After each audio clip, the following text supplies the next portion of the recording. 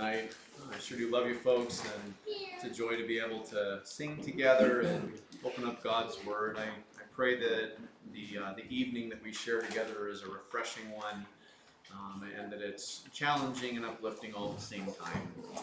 Uh, we're in 2 Timothy this evening, as you may suspect. 2 Timothy chapter 2. Started this chapter last week, and we'll just be looking at one verse again tonight. It is a verse that is absolutely jam-packed with uh, with uh, doctrinal truth and with practical truth for us. Uh, 2 Timothy chapter 2, and I'll be reading verse 2 here in just a minute. A while back, uh, I shared a story with you about a state invitational uh, collegiate track meet where a team of four men ran in the mile relay. The first man ran a very, very fast leg representing his team, his college. And the second man did well uh, also, but soon after the baton was passed to the third man, who was their best runner, that, that runner stopped, walked off the track, and sat down in the middle of the field. And at first, the other team members thought that he had pulled a muscle or that he'd sprained an ankle or something like that. And so the team ran across the field. They asked him, What happened? What's going on? And his reply was, I don't know, I just didn't feel like running anymore. Now, understandably, his teammates, his coach, and everybody else from the college that he represented were quite upset by that act. Um, uh, the exasperated questions on every single mind was, don't you know that you're not just out there representing yourself, but your team and your school? Have you forgotten all the time that the coach has invested in you and the time that your teammates have invested to get where they're at as well? How could you selfishly destroy all of that? Well, friends, on an infinitely more important level, countless people in the Lord's churches do the same thing. They simply make no effort or they unexplainably drop out of the race, often with no better reason than the apathy of that college runner. Now, in our study through the book of Second Timothy, we should understand that Timothy wasn't at the point of dropping out of the race. But we've seen several things about him. Because of his timid personality, he was a man who hated conflict and hated criticism, which are, by the way, an inescapable part of leadership. If you're in any type of leadership role at all for any length of time, you're going to experience conflict on some level with some people. You're going to experience criticism as well. The hardship of standing for the truth in the face of many people who were defecting from the faith was tempting Timothy not to use his spiritual gifts to uphold and to hand off the truth. Was awaiting execution in a prison cell in Rome as he personally crossed the line, finished his leg of the race, and prepared to hand the baton off, was deeply burdened about the need to hand off that baton to faithful men who would continue to run. Our text today is one that you should know very well. It has been a primary theme in the development of True North Baptist Church over the past four years. In this text, in this statement that's made, Paul is not only telling Timothy to take the baton and to carry it faithfully himself, but also to focus intently on handing it off to others who will carry it faithfully and in turn finish their leg of the race faithfully and turn and hand it off to others after them as well. And it's because of such faithful men down through history that we are here today. And it's through that effort that the Lord's churches will continue to thrive until he returns. That is the method. Any church, any individual church can fail in their leg of the race.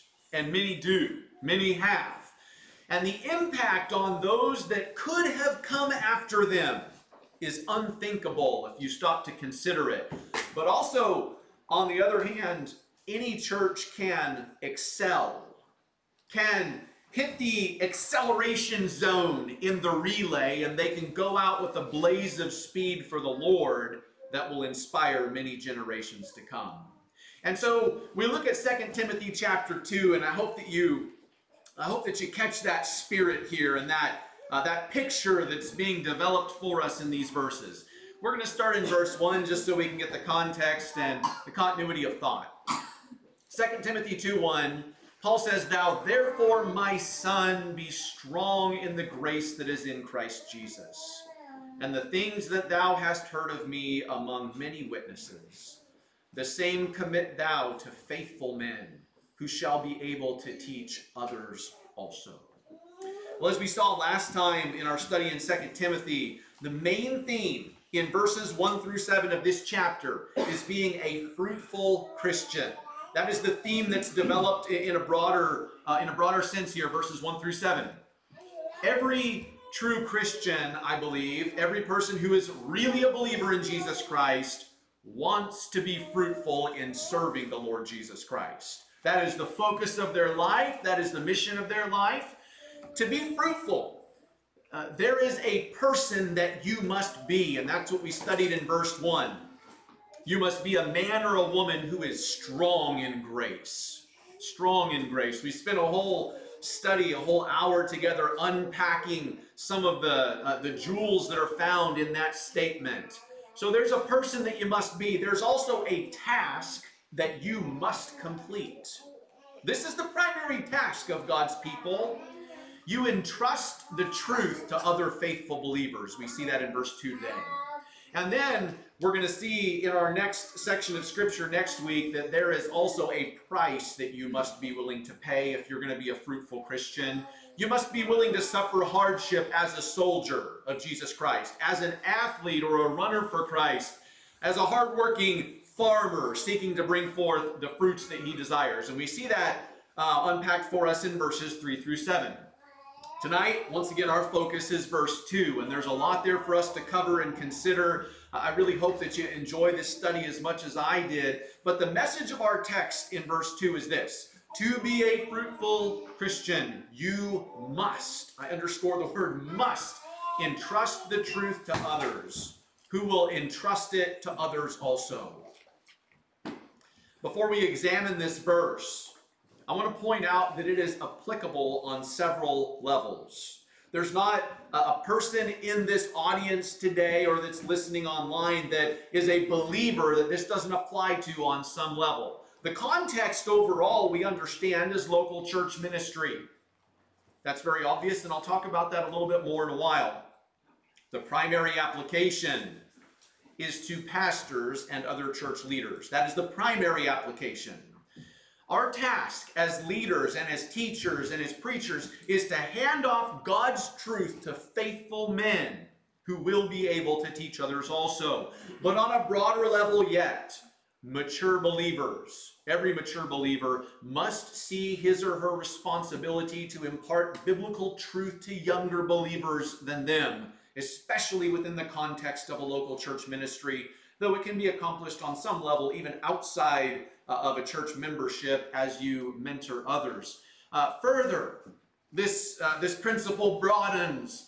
Godly husbands must hand off the truth of God to their wives. The husband is responsible to shepherd his family.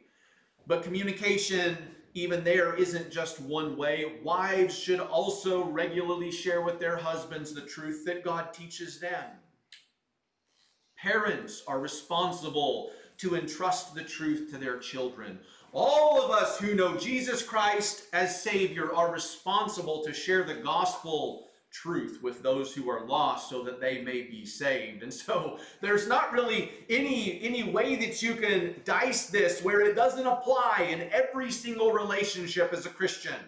The idea is that if God has entrusted any truth from His Word to you, it's not to make you feel good and then keep it to yourself for personal enjoyment or for personal betterment. He gives it to you so that you will pass it on to others Jesus made a, a, a remarkable statement in John chapter 7 where he talks about um, he that, uh, that uh, partakes of the uh, of the Son of God or of Jesus Christ, out of his belly shall flow rivers of living water. That is the natural characteristic when a person takes truth in. They're like a, a living spring that truth flows out of to others. They're not a stagnant pond that doesn't ever put anything out for the benefit of others. I want you to, to keep in mind as we walk through this that verse 2 follows and is directly built on the truth of verse 1. To entrust God's truth to others, you must be strong in the grace that's in Christ Jesus. Therefore, if you're not saved and you don't know the grace that's in Christ Jesus, if you haven't experienced the grace that's in Christ Jesus, you're not going to have any truth to entrust to anybody else. And so, with that as a foundation, verse 2, our text today gives us three requirements if we want to be fruitful for the Lord. Three requirements. These are simple. Maybe you've heard me share some of them before. but first of all, to be fruitful for Jesus Christ, you must be clear on sound doctrine. You must be clear on sound doctrine. Of course, we must impart to others more than mere content, more than just mere head knowledge. Uh, you can you can feed scripture to a parrot and have them say it back. That doesn't mean that it's changed their uh, their being or that they're saved. A person can do the same thing. And so there's more than just head knowledge that has to be passed on. There is much more. Uh, Paul reminded the Thessalonians uh, in a very tender way of this. He told them that I haven't imparted to you the gospel of Jesus Christ only, but also my own soul, because you were so dear to me. That should capture the heart of a discipler. Uh, that should be uh, what our heart really looks like. And so our, our text assumes that the truth that we impart is clothed in a godly life of love and passion for the soul of others. I'm not going to really dwell on that any more than just to try to set that framework for you at the beginning. This isn't just head knowledge type of facts that we're passing mm-hmm. on, but, but truths that are cloaked completely in a life of godliness and love and passion for the souls of other people. But that being said, the clear focus of 2 Timothy chapter 2 and verse 2 is on the content of sound doctrine and the need to pass that on. Paul refers to what Timothy had heard Paul teach. And he tells Timothy that he is to commit or deposit these truths in other men who would be able to turn around and teach others also. Every one of the words in that statement that he makes is so critical and drives home another nuance of this. But there are two aspects to this. Our, our, first point is that to be fruitful for Christ, you must be clear on sound doctrine. So, two, two subpoints or, or thoughts on that. To be clear on sound doctrine, you must be convinced of the existence and the importance of absolute truth in the spiritual realm. We can't dance around that at all. You must be convinced of the existence and importance of absolute truth in the spiritual realm. This verse implies what our culture denies today that there is a definable body of spiritual truth that can be known and it can be handed off faithfully to others. We live in a culture that's permeated with the view that spiritual truth is just a matter of personal preference. Much like your favorite flavor of ice cream. You know, for me, it may be the old fundamentals of, of uh, chocolate and vanilla and strawberry. You know, that good Neapolitan ice cream because I'm old fashioned for you, it may be sour gummy worm sprinkle birthday cake flavor or something odd like that because you like something more modern, something more flashy and dazzling. So if something is true for you, that's nice. This is the, the, the, culture's idea. If something's true for you, that's nice and that's good, but don't you dare be so arrogant as to imply that your truth is true for everybody. As it often happens, folks, the prevailing worldview seeps into many churches.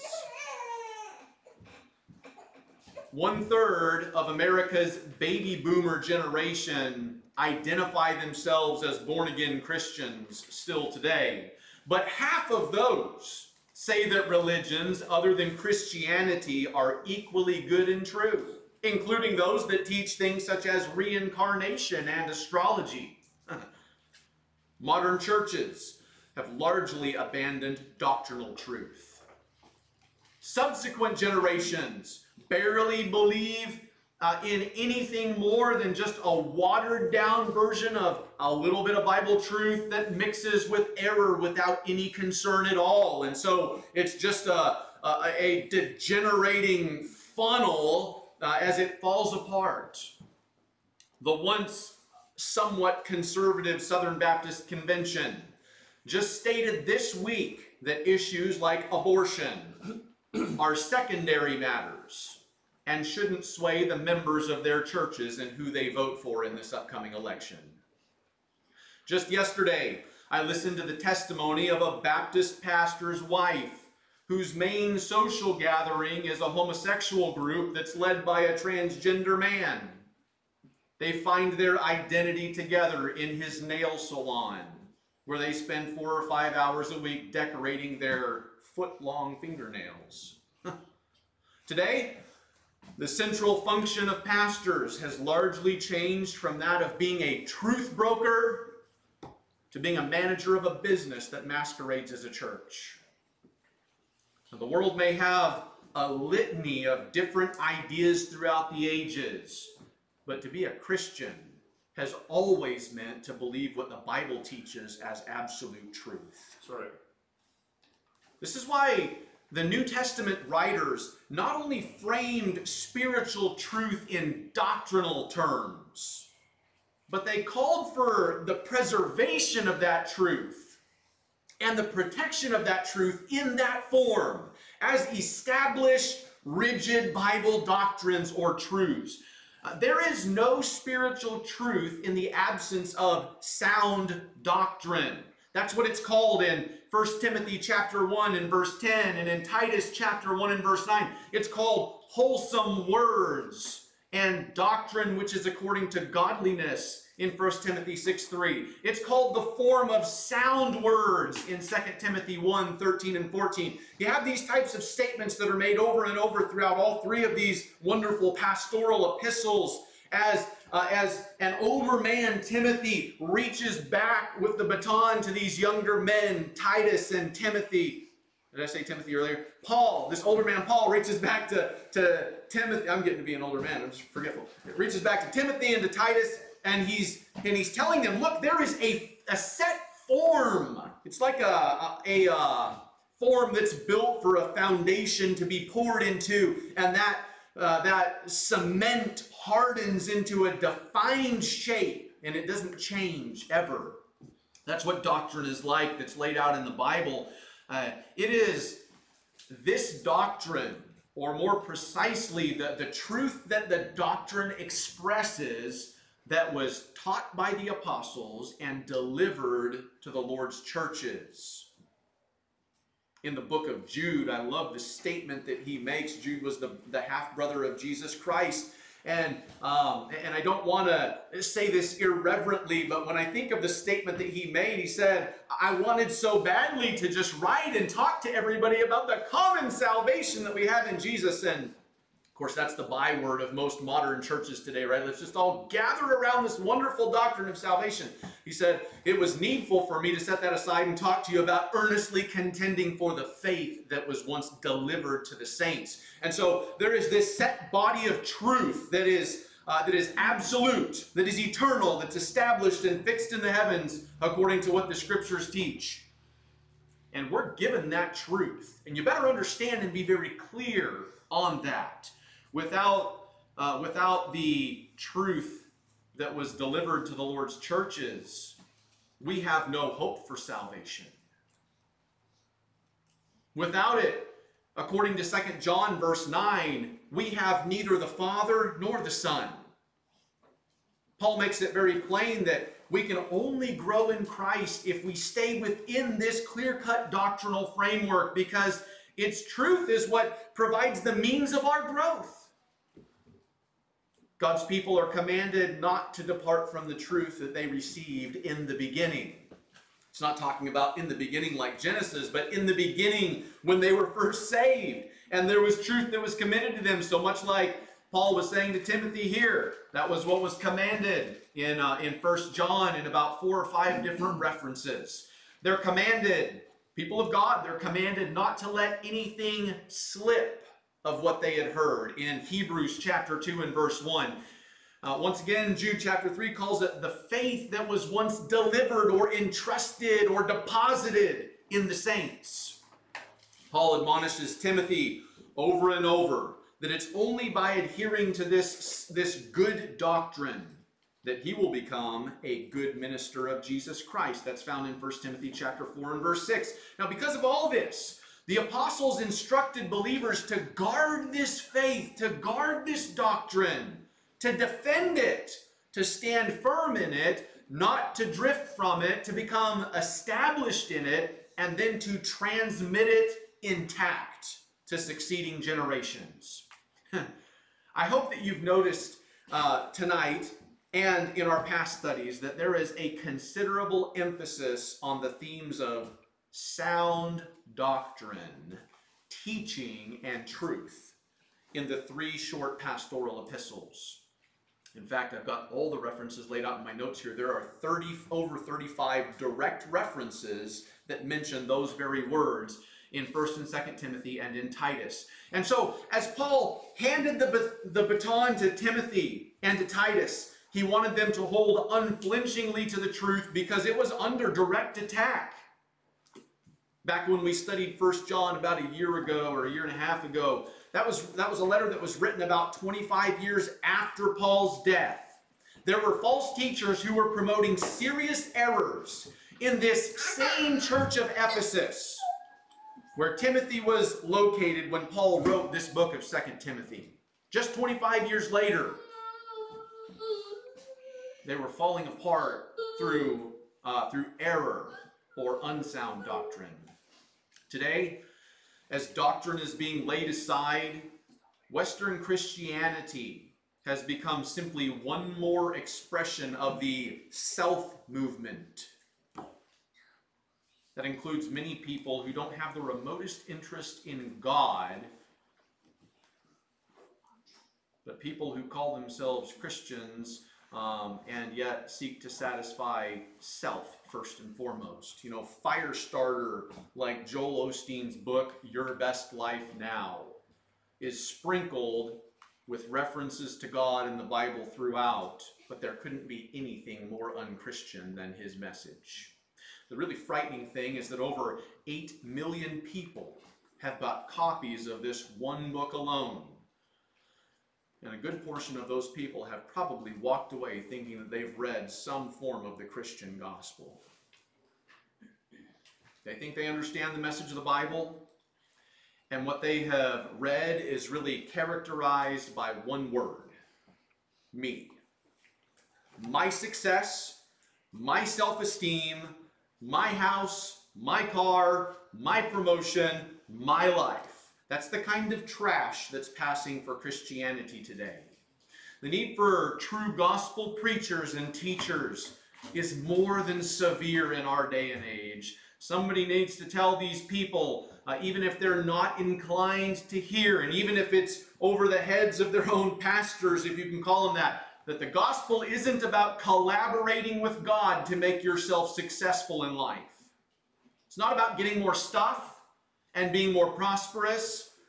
It's about God forgiving hell-bound sinners of their sins only through the death of his son, bringing them to life from the spiritual dead and conforming them to the image of Jesus Christ.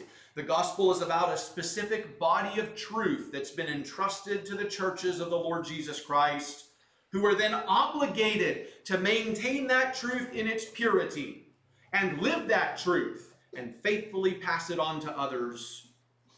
Folks, it is the work of every single member of a scriptural church to do that. If a church isn't faithfully holding to that doctrine, practicing that doctrine, and passing that doctrine on faithfully through the means that's mentioned in our text, it is no longer functioning as a scriptural church. And those within the confines of its membership will wither and languish spiritually as that church atrophies and dies.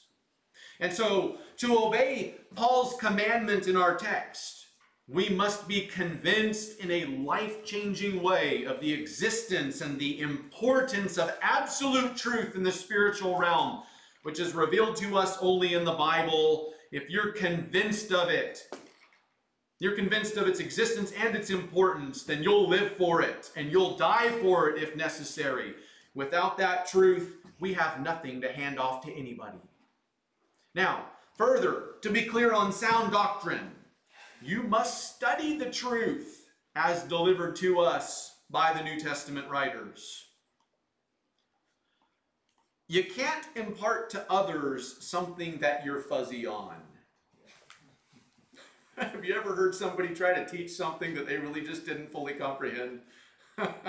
you have to be clear about the truth to hand it off. And to be clear about the truth, you've got to engage in a lifetime of perpetual study and perpetual growth for the Lord. You know, we could envy Timothy's unique place in history. He heard Paul teach the scriptures on many occasions. I'm sure it was a whole lot better than any of us could do here in this church. As they ate together and as they traveled together, Timothy had the privilege of being able to ask Paul any question about any subject in the Bible. But even though Timothy had such great advantages, Paul still had to exhort him Timothy, study to show thyself approved unto God. That's going to follow here shortly in verse 15 of this same chapter. Study to show thyself approved unto God, a workman that needeth not to be ashamed, rightly dividing the word of truth. The reality is this it doesn't matter whether you were blessed to be trained by the Lord Jesus Christ Himself. Every single person still has to work hard at studying the Word if he or she wants to grow and become anything productive for the Lord. What does Paul mean when he tells Timothy, the things that thou hast heard of me among many witnesses. Well, the idea isn't that Timothy was taught by these witnesses, but rather that these witnesses could all stand there one by one in a courtroom if necessary and could affirm the truth that Paul taught. They had heard it, they had observed it, they'd witnessed it, he taught the same things wherever he went. We're talking about this defined body of truth that's established in doctrine in the scriptures. There were witnesses of what Paul taught in Ephesus, where Timothy was at, in Philippi, in Corinth, in Rome, in Jerusalem, in Thessalonica, in Berea, in Lystra and Derbe, where Timothy grew up at, and in all the other cities that Paul had ministered in there were witnesses in all those locations who could confirm the message that Paul had proclaimed. It wasn't secret inner circle truths like the Gnostics claimed to know. It was publicly proclaimed. Nothing was hidden about it, nothing was mysterious about it. It was black and white. These witnesses also could confirm that Timothy had indeed heard that doctrine. It had been entrusted to him and they could confirm that Timothy's doctrine squared with Paul's doctrine. Paul's uniform testimony to the truth teaches us that we can't bow to the pressure around us to soften the truth in order to be popular.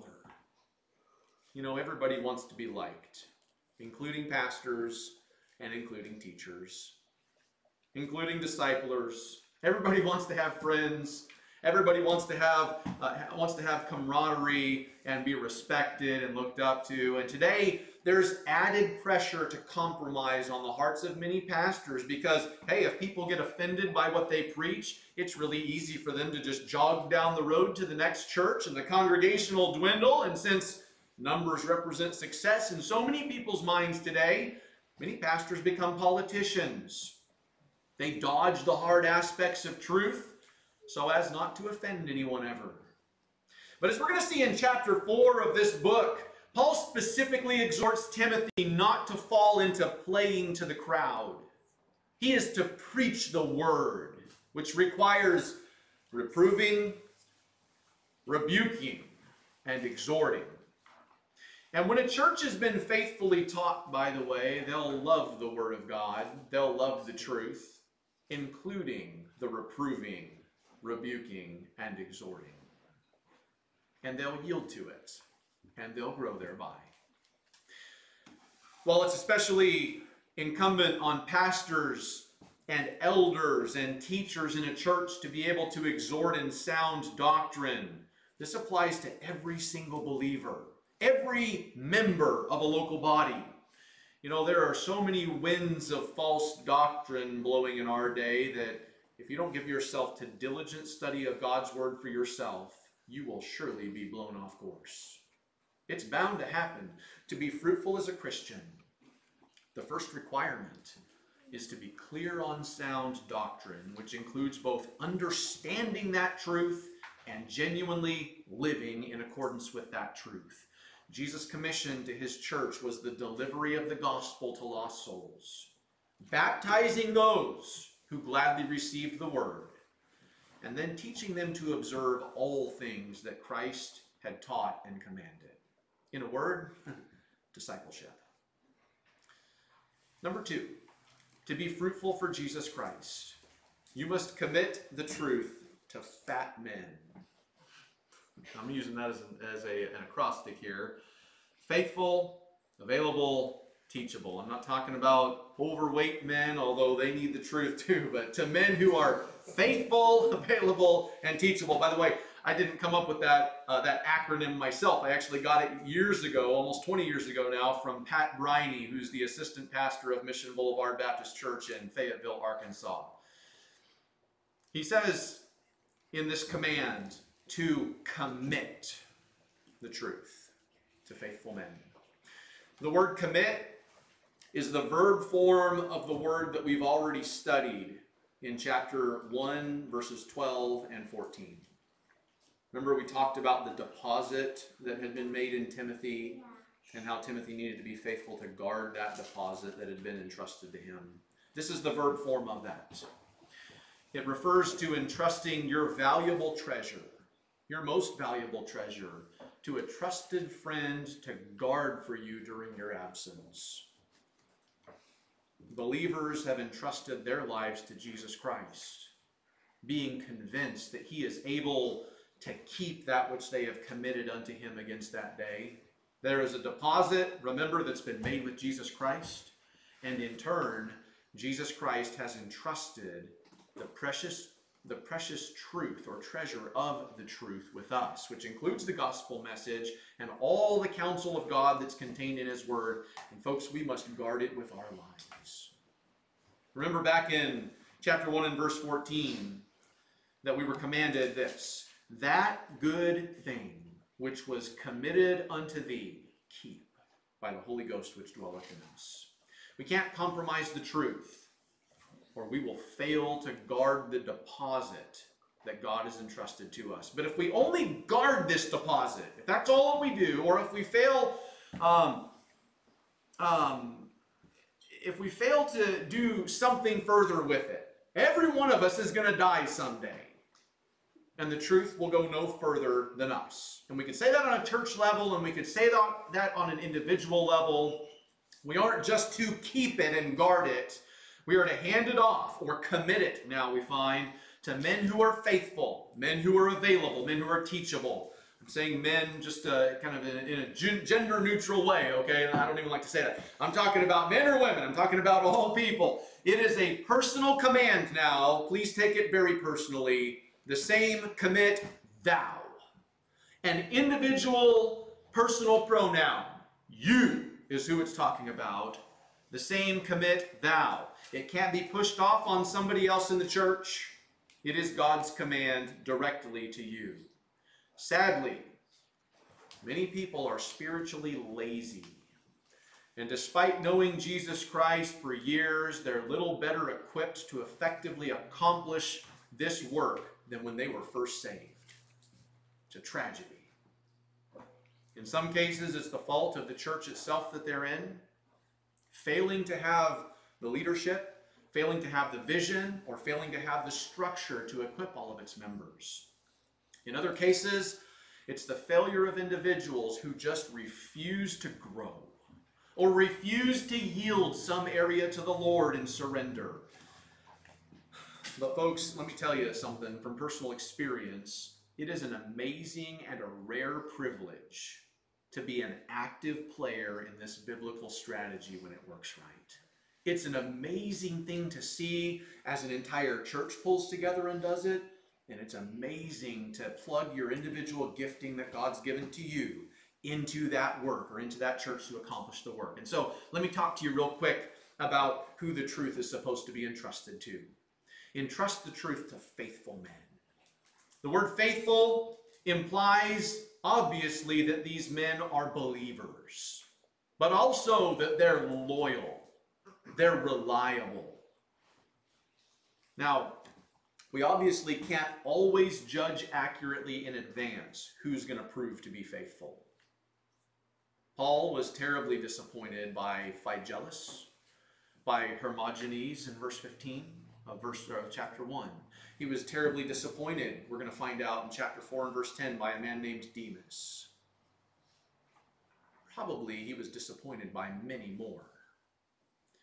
We'll know people by their fruits by and by.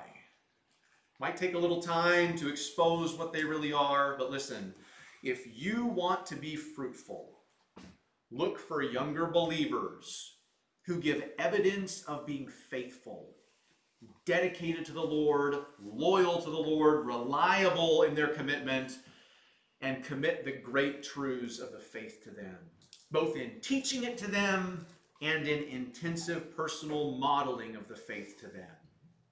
Entrust the truth to faithful men. Also, entrust the truth to available men. This process of entrusting sound doctrine to others takes time, doesn't it? It takes a while. Spiritual growth takes intentional, consistent, dedicated effort over time we should be very quick to capitalize on the inertia of new believers. It's like people get saved and there's a certain amount of passion and emotion and, and momentum that they have as they come into the Christian life.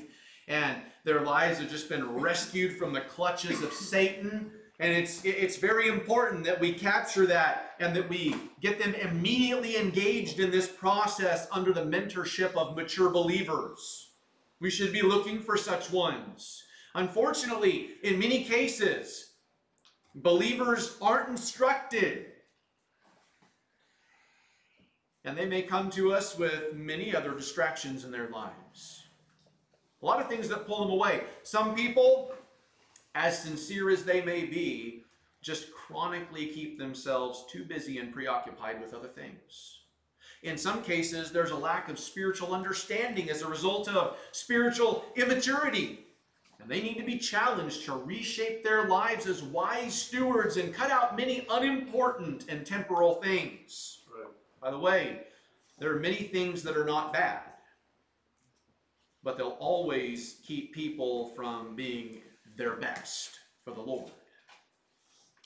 In other cases, people may have wrong priorities, and they're simply not interested in growing in the things of God. They need to be directly challenged to seek first the kingdom of God and his righteousness and surrender to him as Lord. In fact, if they're not surrendered to him as Lord, they likely need to be challenged with the true gospel because there's something missing in their lives. In other cases, uh, they are at an inescapably busy time in life. But listen, you can only work with those who will make the time to allow you to commit the truth to them.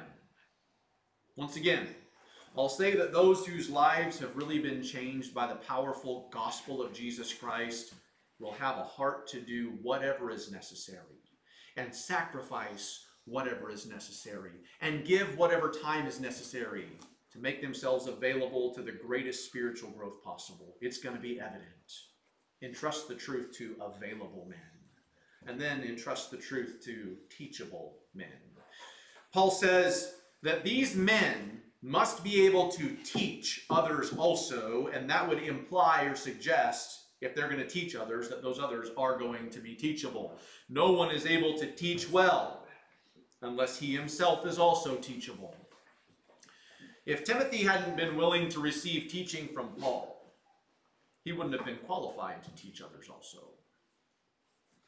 A know it all or a stubborn, self willed person who wants to argue incessantly won't be able to teach others because people are going to resist their arrogance. Being teachable means being sensitive, willing to change your views, willing to change your ways when you become convinced from Scripture that you're in error in some way. It means reverently and humbly being willing to learn from other godly men, not claiming to have the corner on the truth yourself. And of course, it means having a never satisfied hunger to know God, to understand His Word in deeper ways. None of us, no matter how long we know the Lord, ever arrive spiritually in this life. In fact, I'll tell you this that the more that I grow, my knowledge of God's truth, the more I realize how little I know. And I crave it all the more. And so, to be fruitful for Christ, you must be clear on sound doctrine. You must entrust the truth to those who are faithful, available, and teachable. And finally, to be fruitful for Christ, you must catch and aim for the vision of spiritual multiplication. The task of reaching the world's more than 7 billion souls for Christ probably seems impossible at face value to most people. And I, I say this reverently, but uh, God seemingly could have devised a more efficient method than he did. Angels could have gone to every people group on the earth with the clear message of the gospel much sooner and much more powerfully and much more perfectly than we bumbling humans could do it. Yet God's choice was to work through us. God's plan is that of spiritual multiplication, folks. It's impossible to miss, as we read our text today, that there are four generations that are listed in our text. There is Paul, there's Timothy, there's faithful men, and there's the others that they also teach. If you teach somebody and that person bottles the truth up and they don't pass it on, the process stalls out right there. You become at that point involved in addition, not multiplication. And the souls of the world will not be reached. Sadly, that's where most church ministries are at today. But if those that you teach will teach others, who in turn teach others, who will in turn teach others, God works through you or through really through the methods of His Word to mobilize a force for Christ that will both perpetuate His work and will engage you in a fruitful ministry of multiplication that will bring joy to your life like nothing else that you'll ever know as a Christian. And by the way, it may seem kind of slow in the moment because remember, passing on the truth takes some time. It's an investment of heart and time, but in a short time, it will produce substance and it'll produce the results that God's looking for. You've probably heard the example before. Um, just uh, those of you that, that don't like math, you got to listen to, okay? So, suppose that two boys had a very rich father, and he made the two boys an offer. They could choose to receive either $100,000 per day for 31 days, or they could receive one penny the first day, doubled each day for 31 days. And that would be, well, the first day you get a penny, and the second day you get two pennies, and then you get four pennies, and then you get eight pennies, and then you get 16 pennies on the fifth day. Not a very good paycheck, is it? How many people here would choose the $100,000 a day? Nobody wants to raise their hand. Not a trick question. At the end of 31 days, that person would have $3.1 million. That's a pretty good payday. But the person who chose the penny that's doubled every day would come out at $2.2 billion at the end of the month. All right? That's just kind of a, a silly analogy to try to tie in here. But when it comes to spiritual multiplication, the process doesn't happen quickly, and it doesn't happen without any failures.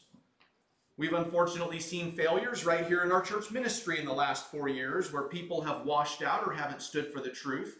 But the point is this to be fruitful, look for those that you can teach who won't just study for their own benefit or for what they can gain from it, but for those that they will be able to teach others also.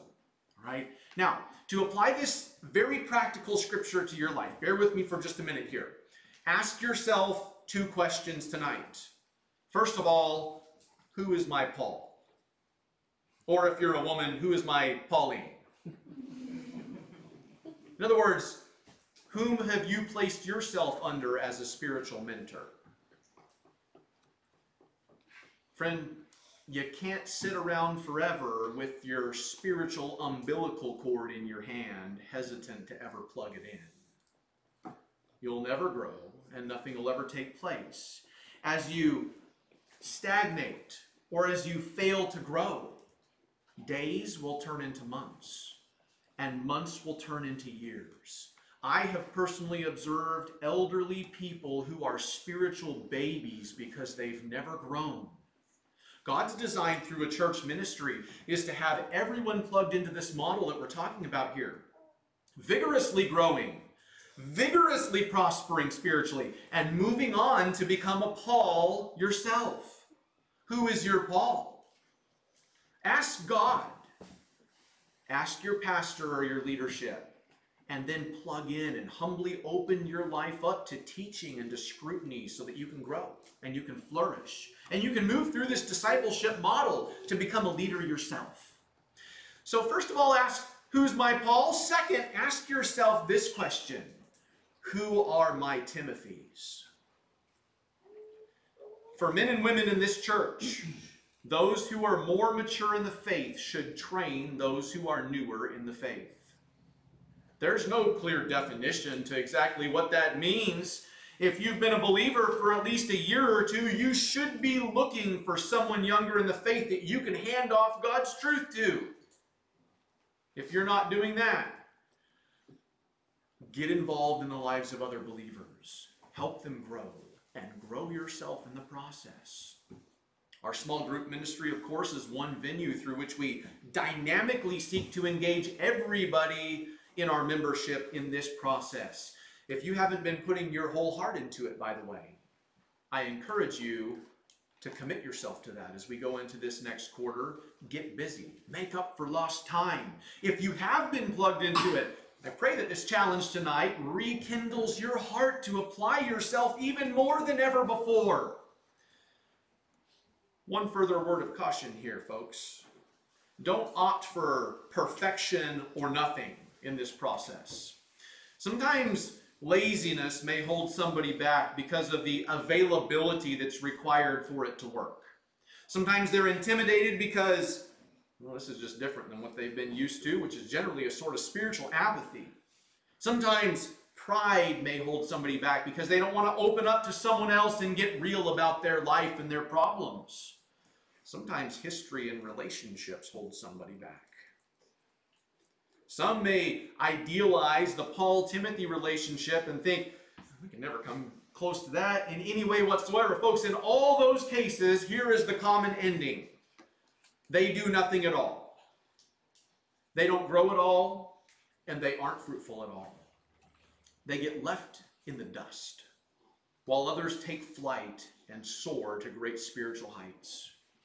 They continue to stay down on the ground looking up at others, maybe feeling a little resentful and out of place as they continue to make excuses. 40 years later, they're still doing the same thing if they're even around at all. Their children have turned out to be even less than they are. They're like that runner in my story at the beginning of the message tonight who just didn't really feel like running. They hinder themselves and they hinder the entire church team. Folks, listen to me. All of us have time constraints. All of us work different hours and different days. There is rarely a perfect schedule, but there is always a way that we can prioritize our time for that which we really want to do. That's right. Ask God to give you a Paul. Ask God to give you a Timothy or two to commit the truth to. Get together with the stated intent of doing what we've discussed tonight. Get into the Word. Pray for and pray with one another. Share together in the things of God. Live a godly life before one another. Talk about the hard things. Be accountable in temptation and in difficulties. Model how to live in the home, how to trust Christ, how to lead people to Christ. He'll use you to bear fruit for eternity. And you'll play the role that He expects each one of us to play within one of His local churches to win those seven billion plus souls and commit His truth to them. That's our job. That's our mission. That is the entirety of our vision and our focus in ministry. The things that thou hast heard of me among many witnesses, the same commit thou to faithful men. You shall be able to teach others also. You want to live a fruitful life? Let's redouble our efforts in this way. Father, thank you for the time that we can open your word this evening. I pray that, uh, that you will continue to drive these truths deeply into our hearts, and that we'll not just be faithful to keep the truth that's been committed to us, but to make sure that we're teaching those that are faithful and available and teachable so that they can turn around and teach it also. Thank you for the model of your word that you've given to us so we don't have to flounder in our own efforts, but so we can just simply build our ways after yours and you get all the honor and glory for it. I pray that you'll find True North Baptist Church uh, robustly doing this work without failure. In Jesus' name I pray. Amen. All right, anything at all to share this evening before we dismiss? I know I've been a little bit longer than I typically go. I appreciate you